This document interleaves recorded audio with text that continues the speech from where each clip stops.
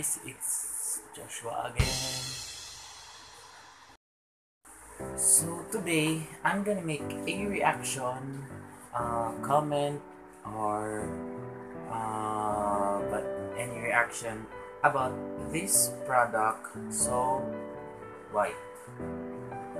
So, sa ngayon, I only have this instant white tone up whitening cream nila at saka itong double white whitening soap nila. So, uh, this whitening to, this tone up whitening milk cream nila is only 20 pesos. So, affordable naman, di ba? At saka, for, for 20 pesos mo, may dalawang ano ka na nito. At saka, itong whitening soap naman is 149. So, it has has three soaps inside na tag 90 grams hanga per soap. So, affordable din. So, mabibili nyo to sa Watsons. Kasi nabili ko to sa Watsons eh. I've been using this soap three times a day. uh, after I wake up, uh, while I take a bath, and before I sleep. Yes, three times a day. I apply, I apply this soap in my face, neck, and and here at sa ano ko sa elbow. Ay, hanggang dito talaga. Pero pag naligo ako, whole body talaga. So, first is to be this was kind of effective. Kasi after kong uh, gas ay after kong gamit ito sa mukha ko, it gives this ano, uh, nag-ano siya, parang nag-shine. Uh, kasi kakaano ka lang sa mukha ko. Ngayon. So, di ba, tignan mo naman. And, ano, it was kind of effective. So, though it didn't really whitens my face, pero, as, pero maganda naman din yung resulta.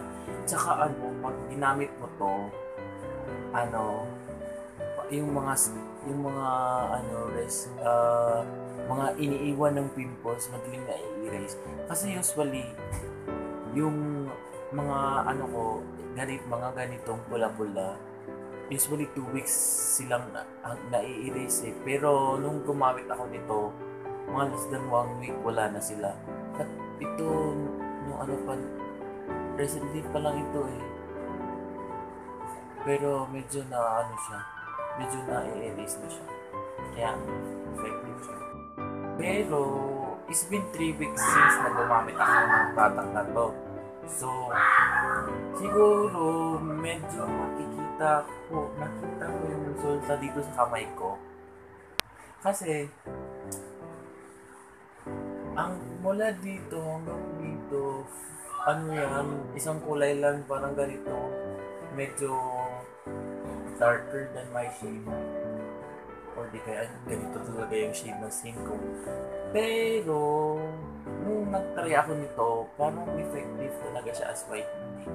Kasi ano, medyo medyo mas lighter na yung kamay ko than dito.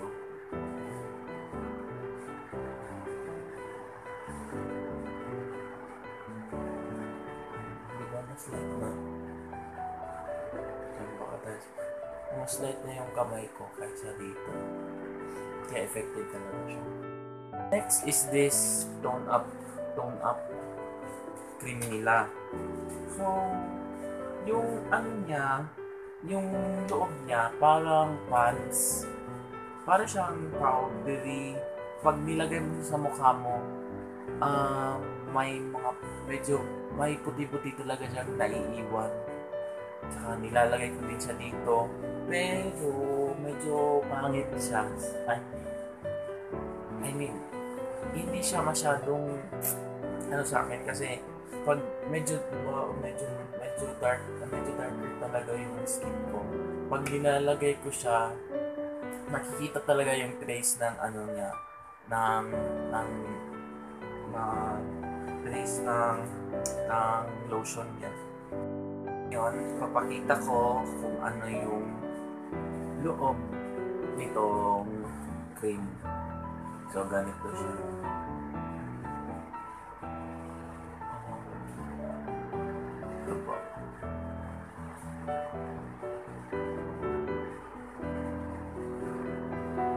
Meron talaga siyang ano, France. Tsaka yung amoy niya pa.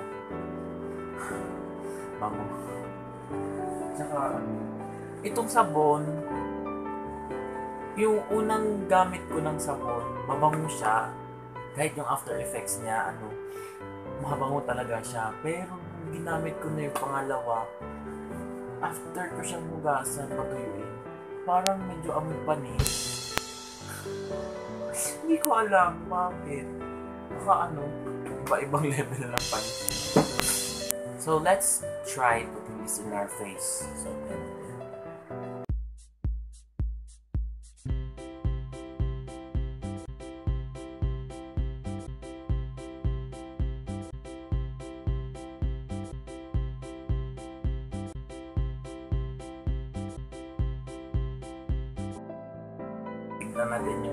resulta. Ito yung part ng face ko na hindi ko nilagyan. So, tingnan natin. Di ba? Puti talaga. Mukha kang ano. So, nalay na. Masyadong maputi. So, ano talaga siya? Instant whitening talaga siya. Ah, maganda naman din yung ano niya pag pagkatapos ng ilagay mo sa mukha mo or any part of your body but just masyadong maputi. Ah, di ba? We'll just leave it in our face para ano. Next is let's put this on a darker shade. Tingnan natin kung maganda talaga siya. Na parang kita nila.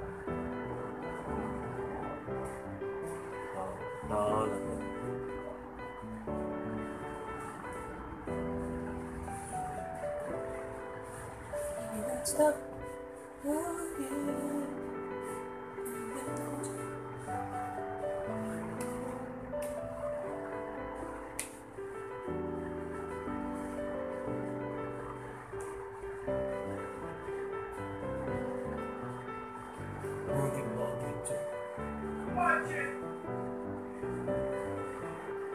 Ito yung wala. Kahit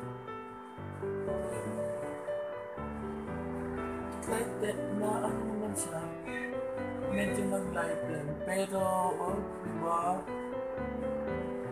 Medyo nakikita yung ano, basta medyo darker yung ano, skin mo. Nakikita talaga yung powder, ay yung, yung, lotion, yung cream na nagtatak, nag, nagtatak, nag, nagstatak, nag, sta, stuck, nag-stuck sa ano mo, stuck sa pores mo. Ano mo, kung nakikita mo siya. Pero kung ganun talaga. For me, this soap is effective. Not that really effective, pero effective siya. Kasi after kung gumamit nito, medyo gumanda yung skin ng sa ah, face ko at saka medyo bumuti yung kamay ko. So, the process pa tong part na to hanggang siko. Mat maganda to. Recommended. Tsaka affordable pa. Yung itong tatlo, tatlong sabon na to, nakita ko sa inyo. Ito, ito yung sabon may naka-engrave din na soul white. Bango din siya. Mabango talaga siya. Pero medyo may amoy siya pagkatapos. So, kung matipid ka talagang tao, itong tatlong sabon na to, aabot siya ng isang month o di kaya lampas ng isang month kasi I use I've been using the second one na and it's third week na siya, third week na ngayon. So, baka itong sabon na to umabot to sa second week ng May, di ba? Pipid. At saka, itong cream naman, ah,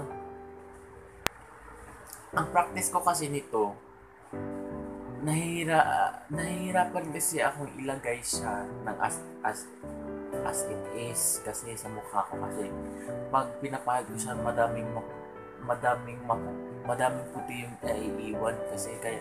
So nilalagyan ko siya ng itong cream nilalagyan ko ng ng moisturizer. Yung gamit ko ng moisturizer kasi is yung ano yung Olay nilalagay ko kaya pag nilagay ko madali na siyang i-spend.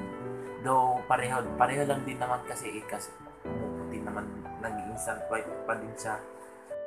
So, I recommend this product to you guys kasi maganda talaga yung effect niya. At saka affordable pa. At saka ma-achieve mo talaga yung kutis Korean. Kutis Korean. Korean. Thank you talaga siya guys. So that's all for this video. If you want to be updated sa mga videos ko just click the subscribe button below and give us a massive thumbs up